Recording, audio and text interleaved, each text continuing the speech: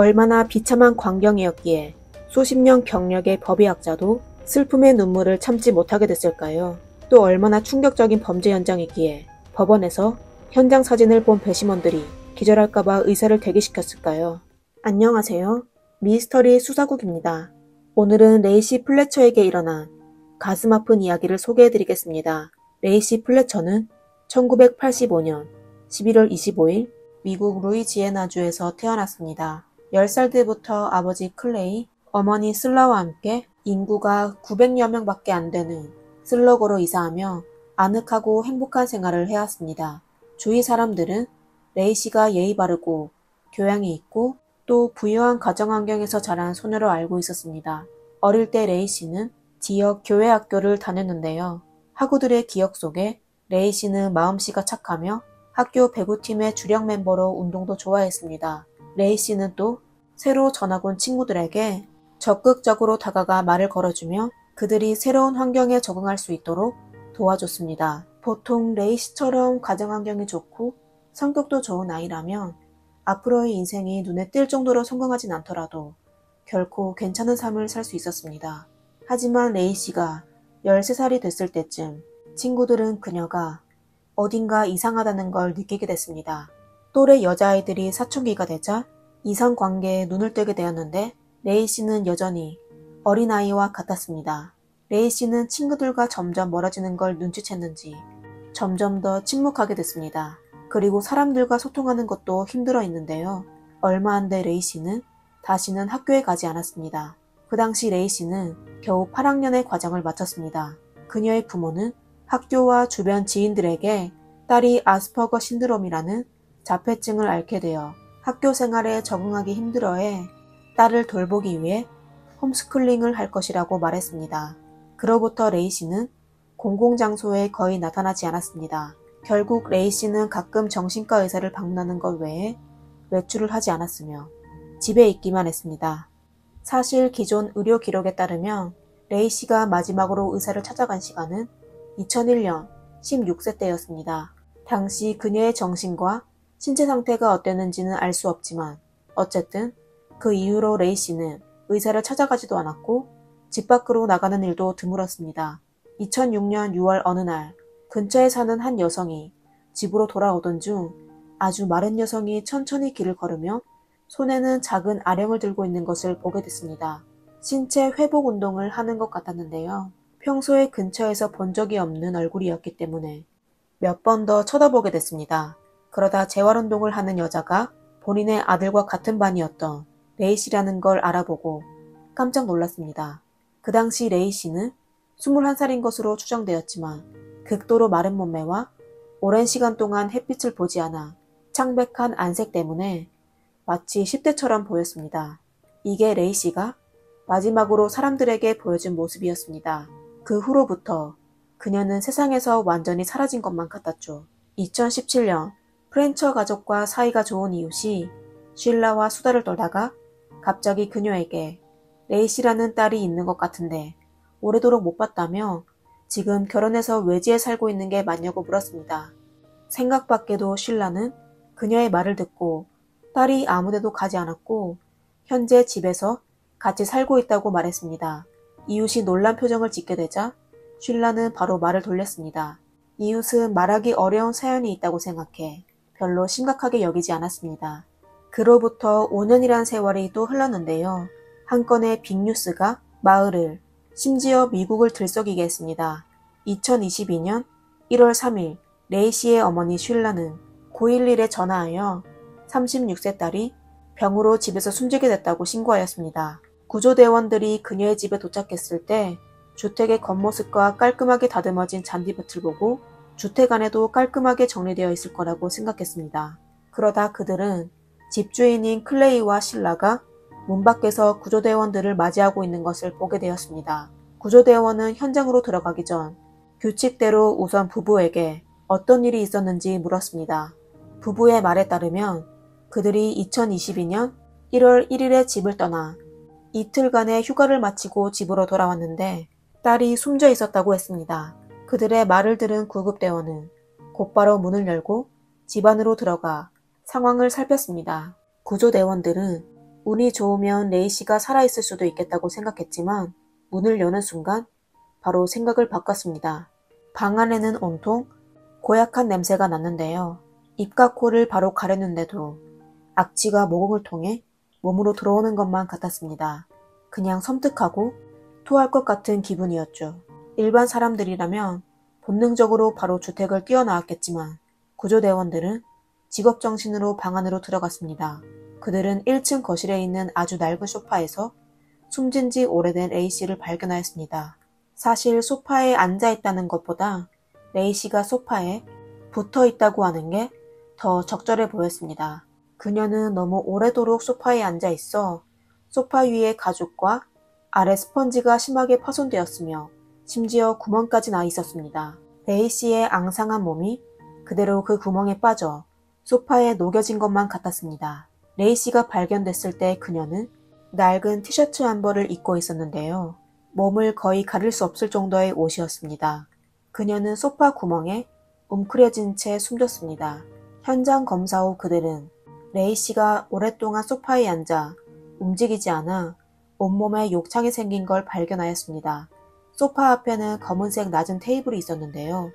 위에는 로션과 베이비 파우더가 마구 놓여 있었습니다. 그리고 방향제와 물티슈 한 봉지가 있었는데 플래처 부부가 딸의 욕창을 아주 가끔 간단히 처리한 것으로 보였습니다. 하지만 레이시의 상처는 로션과 파우더로 치료하기에는 너무 심각했습니다. 법의학자는 레이시의 상태를 통하여 그녀가 숨진 시간을 24시간에서 48시간으로 추정하였습니다. 플래처 부부가 이틀 전에 휴가를 떠났다고 했는데요. 그들이 집을 떠날 때 이미 레이시가 숨져 있었거나 아니면 곧 세상을 떠나기 직전이었을 겁니다. 부모가 얼마나 부주의했으면 딸이 위독한 상황에 빠진 걸 무시하고 즐겁게 휴가를 떠날 수 있었을까요? 레이시는 인근 병원의 부검실로 옮겨졌습니다. 법의학 전문가인 이웰 비컴 의사는 숨진 레이시에 대한 부검을 진행하여 자세한 검사를 실시하였습니다. 의사는 레이시의 위에서 음식 잔류물을 찾지 못했으며 소파에서 뜯은 스펀지와 레이시의 배설물을 발견했습니다. 이건 소녀가 삶의 마지막 순간까지도 살기 위해 얼마나 많은 노력을 했는지 알 수 있는 부분이었습니다. 그녀가 겪었을 일들을 상상하게 된 이웰 비컴 의사는 눈물이 고이기 시작했습니다. 법의학 검사 결과 레이시의 몸에는 온통 모기에게 물린 흔적이 있었으며 모기의 독소가 그녀의 몸 깊숙이 침입한 것으로 확인됐습니다. 또 만성 영양실조와 급성 기아 상태로 레이시는 결국 세상을 떠나게 된 것이었습니다. 그 당시 레이시의 엉덩이와 허벅지 근육이 거의 사라졌었는데요.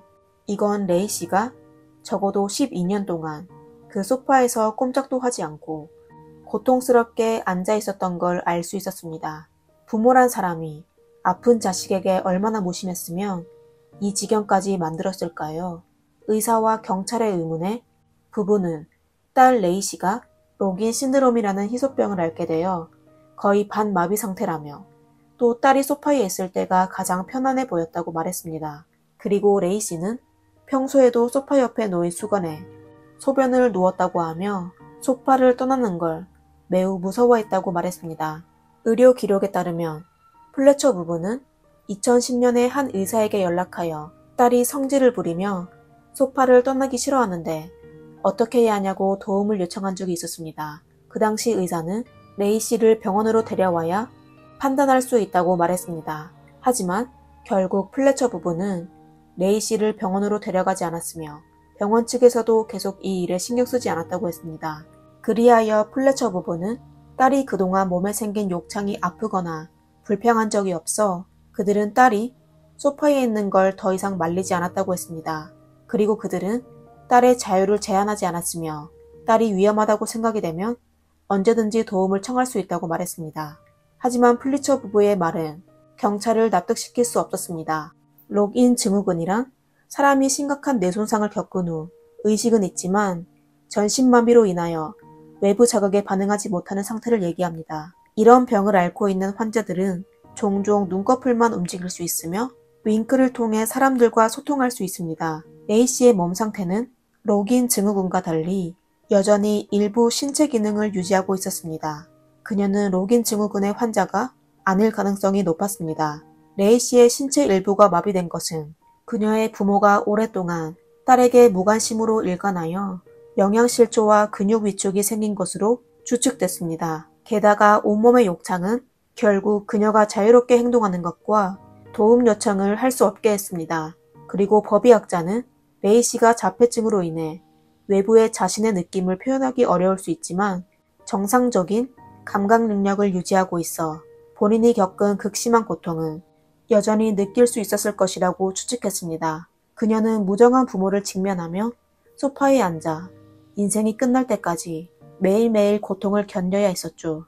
레이시의 상황에 따라 법의학자는 분노를 참으며 레이시의 숨진 이유란에 타인의 상해로 인함 이라고 적었습니다.